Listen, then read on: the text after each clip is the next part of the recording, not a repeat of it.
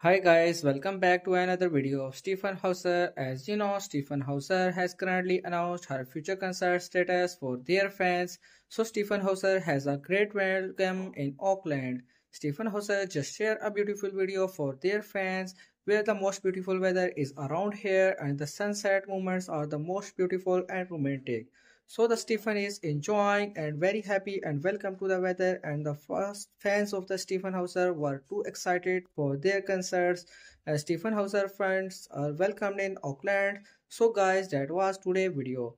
People who love Stjepan Hauser and don't forget to subscribe our channel and also press the bell icon to watch latest updates and upcoming updates and daily lifestyle videos of Stjepan Hauser.